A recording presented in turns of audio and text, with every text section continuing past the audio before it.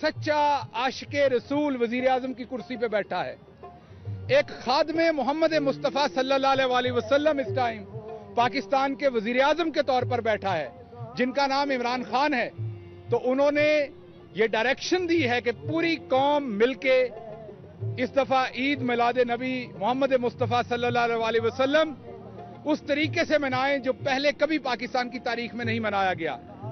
आप देख सकते हैं ये डी चौक जो कभी पॉलिटिकल सरगर्मियों का हिस्सा रहा, यहाँ एहतजाज भी होते, लेकिन इमरान खान साहब की डायरेक्शन पे पहली दफ़ा यहाँ पर महफिल समा का इनका हो रहा है। आपके सामने जो शुरू हो चुका है।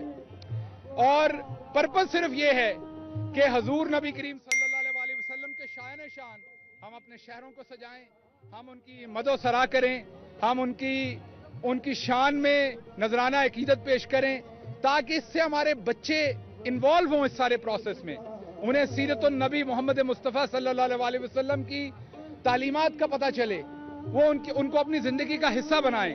तो आप देखेंगे, लाहौर हो, पेशावर हो, कराची हो, या कोयटा हो, या इस्लामाबाद हो, या कश्मीर हो, या जीबी हो, पूरा पाकिस्तान इस दफ़ा तारीख से हटके एक बहुत ही शानदार अंदाज के साथ प्राइम मिनिस्टर की इंस्ट्रक्शन के ऊपर शानदार तरीके से पूरी कौम मिलके मोहम्मद मुस्तफ़ा सल्ला वसलम को खराज तहसीन पेश करने के लिए खराज अकीदत पेश करने के लिए इस दफ़ा तारीखी तौर पर ये रबी अव्वल का महीना मनाएगी।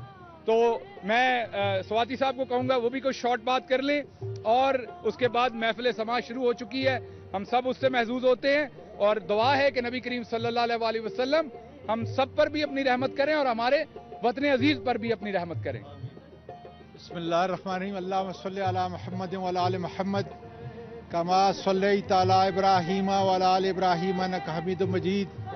अल्लाह मुबारक अला महमद वाल महमद कमा बारक ताला इब्राहिम वाल इब्राहिम हमीद मजीद। हज़ारों, लाखों दरूद नबी करीम सल्लल्लाहु अलैहि और उनकी औलाद पर आज जो अकीदतमंद इस डी चौक के अंदर जमा है मैं समझता हूँ कि पाकिस्तान की तारीख का एक नया बाब, एक रोशन बाब, एक प्यार और मोहब्बत वाला बाब, अकीदत वाला बाब आज शुरू हो रहा है। और इस अजीम महफल के अंदर नबी करीम सल्लल्लाहु अलैहि वसल्लम की सीरत मुबारक से जो भी बात हमारी ज़िंदगी में आए, उसको अगर हम अपनी ज़िंदगी में अपना लें तो मैं समझता हूँ कि इंसानियत की सबसे बड़ी खिदमत होगी। आज पूरे पाकिस्तान के अंदर चरागा है। लोग नबी करीम सल्लल्लाहु अलैहि वसल्लम की मोहब्बत के अंदर जो चराग जला रहे हैं, वो इन हमारी ज़िंदगी के लिए और इंसानियत के लिए, इन अकीदतमंदों की ज़िंदगी में एक नया इनकलाब रोशन करेगा। मैं समझता हूँ यही मेरे पाकिस्तानियों के लिए पैगाम है।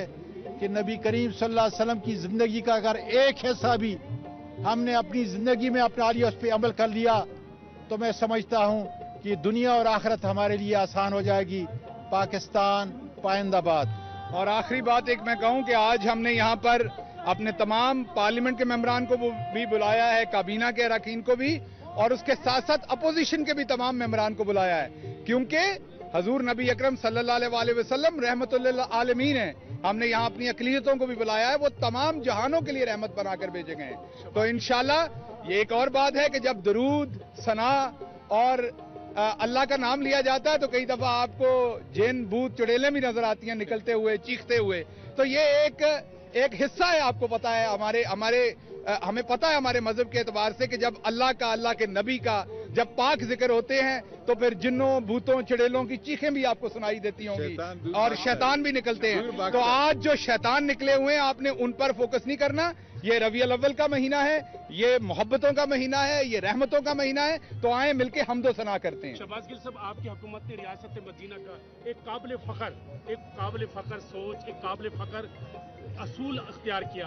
तो अब ये अकीदतमंद चाहते हैं कि इसमें पेश रफ्त हो जाए रियासत मदीना का निज़ाम पाकिस्तान में नाफिज हो जाए। देखिए इसमें कोई शक नहीं कि हमारे लीडर जो इमरान खान है वो हमेशा कौम को ये बताते हैं कि रियासत मदीना को जो बनाने वाले थे, वो इस कायनात की अजीम तरीन शख्सियत मोहम्मद मुस्तफ़ा सल्लल्लाहु अलैहि वसल्लम थे।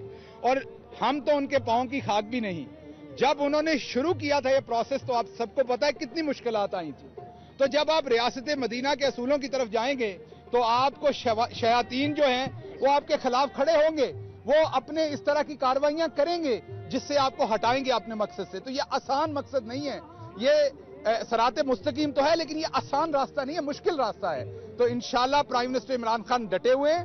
वो अपने गरीब के लिए इस मुल्क को रियासत मदीना बनाना चाहते हैं, जहाँ तमाम लोग कानून के सामने बराबर होंगे।